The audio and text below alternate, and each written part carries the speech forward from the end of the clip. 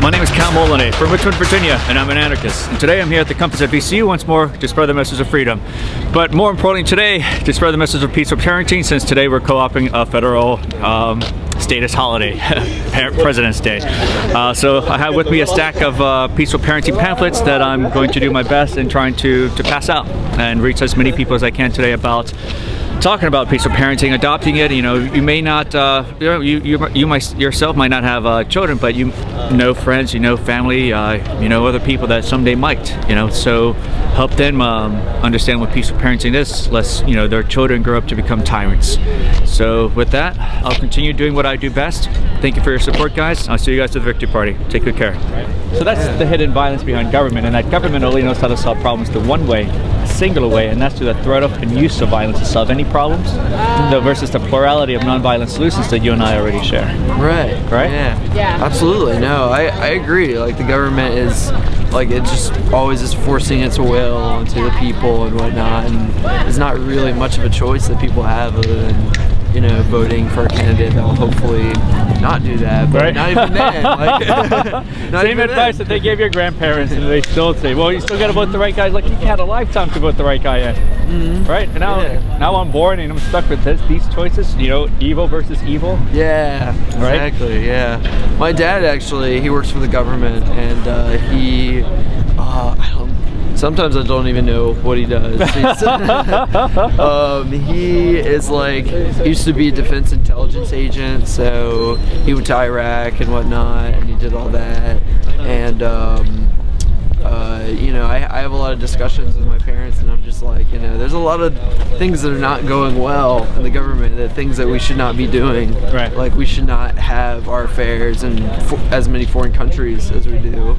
Um, we shouldn't be doing the um, uh, the drones and. Drone bombing children, Mhm. uh, weddings, Yeah. right? Yeah, yeah, in Afghanistan and whatnot. Yeah. yeah. and it's it's rough. It's it's bad because my parents are very like strictly like.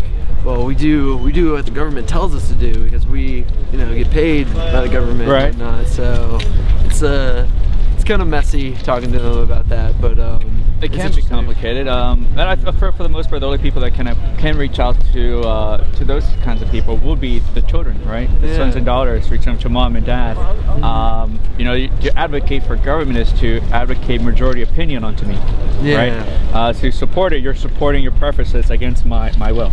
Yeah. right? Exactly. Um, and that's not to say like we're trying to put parents in a position or anyone who works for the government in like an uh, evil corner, you know, so Yeah. to speak. That just happens to be the matrix we're born into, Mm-hmm. right? Until people realize, shit, I had no idea it was like this. Uh, you know, take the time, however long that takes, it's up to you to start unplugging, go into the private sector. Mm-hmm. Um, instead of being in a position where your salary comes from uh, the productivity class, right? yeah, pretty much. Yeah. yeah, Yeah. nearly half your income to, to support the public sector, right? Government sector. Mm-hmm. Yeah. Mm-hmm. Uh, they don't they don't create anything. They don't produce uh, capital. They're not a business, right? Uh, like USPS, sixty billion dollars in debt, right? You Yeah. have a whole monopoly on delivering pieces of paper, but they still can't function well, right? Yeah. Uh, they can't move like you would as an entrepreneur, as your own business, right? Mm-hmm. Uh, you mentioned you're interested in films. Yes. Uh, commercial or um, uh, independent. independent? Mhm. Okay. Yeah, yeah. Like I like um I like some commercial movies. Like there's some good ones that come out, but it's a lot of the same stuff, you know, a lot of political stuff that like, you know, the political ones get connected with the awards and the ones that are, you know, the most violent and fast and Yeah. you know, hit you hard will be the ones that win. Unfortunately. yeah, but there's some still there's some still really good stuff like independent cinema and uh, some of the uh, really good auteurs that are still around are still making good stuff. Like I think the Coen Brothers are excellent for that. Um, um, David Lynch hasn't really come out with anything in a while, but um, but yeah, I I prefer uh, independent cinema the way I prefer like independent music Right. as well. Just like Have you found it Yeah. difficult to produce stuff um, with like copyrights getting in the way sometimes? oh yeah. Yeah? yeah on YouTube they got like I'll put up just one little bit from a song that is owned and it's just cop, Gone, just yeah. like that. Yeah. All right, so that, that itself is another government intervention. Uh, intellectual property, for example, wouldn't exist if there was no government. Uh, you can't, I mean, an idea is not tangible. It's not like a, a car, a camera, a tree, something you can hold, some real property you can exchange, right? So it's like uh, when someone says, well, you're copying, uh, you just stole my music. No, I didn't. No, your sheet of paper where you wrote your music on is still there.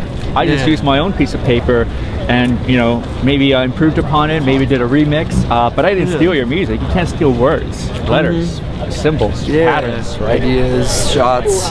Yeah. So what government has done is granted a, a monopoly for individuals to apply for a patent for a copyright, and no one else is allowed to speak those letters, right? Like singing "Happy Birthday," you have to pay a royalty fee, for example. oh wow, I didn't know that. Yeah. That sucks. yeah. So you can't use your own vocal cords to produce sounds without uh, being fear of being extorted. Yeah. Um, so yeah, that's th- those particular areas hamper creativity. um, you know, prevents uh, innovation or ways to kind of express yourself. Right. yeah, absolutely. What up? Cool. That's my my cousin. Well, that- yeah, so that's, that's how I talk about like the, the ways that every every step in the corner you find governments in there trying to prevent you trying to be free, trying to express, trying to be creative, Yeah. um, trying to have the freedom to do what it is you want to do without having half your income stolen, or you can invest that into you know more camera equipment. Yeah. All right. Um, Exactly. Yeah, it's it's interesting because um, the way I've seen the government affect my family, especially my dad, has been really has been kind of brutal on him because he's uh, he commutes to work every day. He commutes to the Pentagon.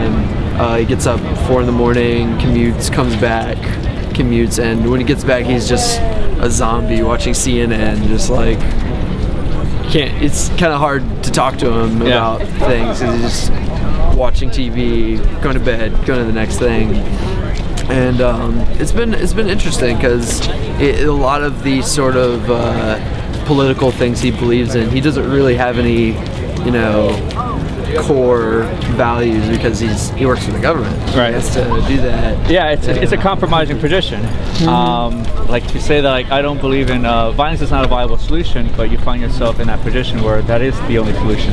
Yeah. Um, it can be, especially since you've invested a lot of years in that in that particular area. Mm-hmm. Um, I, I can imagine it can be hard. You, you said you try to talk to him sometimes. Yeah, yeah. I've, I've talked to him about it, and just um, he's very. Uh, uh, he, they all have like sort of very fixed ideas about um, the way uh, the government should be and the way that like families should be raised and whatnot.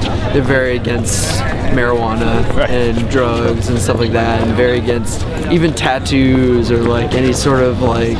Um, and a lot of the music they like is not very. It's very like, you know, right wing stuff. and um, yeah, my dad's a Democrat, so he believes in a lot of um, sort of uh, left wing things, but he works for almost entirely right wingers. Right. Well, so, yeah. you know, it's it's hard for him to be able to have any sort of like decision in his job Right. because it's very much you know what he has to do for the next you know thing, whatever they're doing. And why are you not following uh, the footsteps? Uh, no. What, what, what about it wants you to, to break free from that and go this independent uh, route? Uh, I guess I've I've seen a lot of war movies. I've seen that movie. yeah, I saw Full Metal Jacket. I'm not about I'm not about to go join the military like now. why? Like, That doesn't make any sense. yeah. You're not defending my freedoms. Yeah. You're bombing your children overseas. It's not protecting me anymore. Nope, not at all. Right. and yeah. Go ahead. Yeah, no, my dad went to Iraq and uh, told me all about it. And he's like, I don't need need to be a part of that. I'm not trying to get shot or blown up for a cause I don't believe in. Yeah. So there you go. And I, I would I would prefer to do something artistic and something to in my community than do something you know abroad for the country or something Right. like That's well, that- that's that's giving then. What, what what you would be doing then, right? That's that's actually really giving to your community. That's voluntary interactions, consensual. Yeah. Um, you're not uh, stealing people's property, and calling taxes to fund your projects, right? exactly yeah. Uh, you know, I, I think that's that's the area that I think for the most part we need to focus on in our own community, right? It's here where we're losing our freedoms, not overseas, exactly, right? Exactly. Yeah. Uh, cool. Cool. Yeah. Well, well, my name is Kal. Yeah. Nice to meet you. I'm Me Alex. Too. Alex, pleasure to meet you. I got pamphlets yeah. if you like. Yeah. Sure. Yeah, cool. awesome. Aird. What's going on? So like you, you said your parents are like against cannabis. So what'll end Mm-hmm. up happening if there was no government? If we focus community oriented problems, right? Mm-hmm. Non-violent solutions in the same way we already use in our lives. We don't so- use violence to solve problems. You Yeah. end up having like thousands of diverse communities, right? Some Yeah. of them kind of exist already, like golf course communities, 51 and older communities in Florida.